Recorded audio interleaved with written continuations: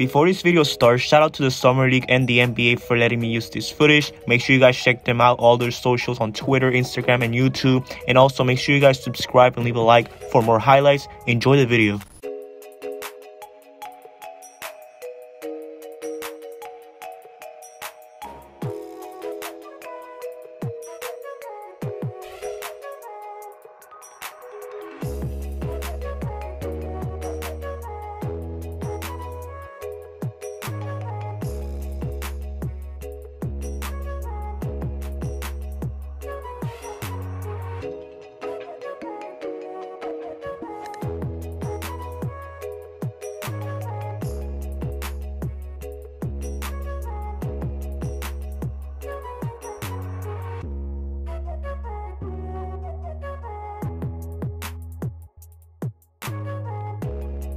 So yeah, those are Alex and Antetokounmpo's highlights from tonight. To give my quick thoughts on it, I think Alex did a very solid job in my opinion. He did look very rusty though because this is his first time playing basketball in a long time. I think the last time that he played real basketball was in Spain in like 2020 or something like that. It's been a long time and you can see the rust in the highlights, but he did a very good job on the offensive rebounding side of the court. He was getting tons of rebounds and he was, you know, boxing out. He was playing his heart out on defense and on offense. I just think his, you know, jump shots to improve improve a lot for sure. But I think has a lot of talent. Hopefully, Bobby Jackson keeps playing, you know, Alex Antetokounmpo more because if you guys didn't know, yesterday Alex Antetokounmpo didn't play, so that's why I didn't bring you guys the highlights. So hopefully Alex keeps developing. I really like the talent that I'm seeing. I just think he just needs, you know, more reps in order, you know, to progress with his offense and defense. So yeah, let me know in the comments what you guys think. Do you guys think that Alex will get a spot on the Sacramento Kings main roster? And what are your thoughts on this game? Let me your thoughts down in the comment section below. Make sure you guys like the video if you enjoyed it, subscribe for more basketball content, and turn on post notifications to get notified of my official videos.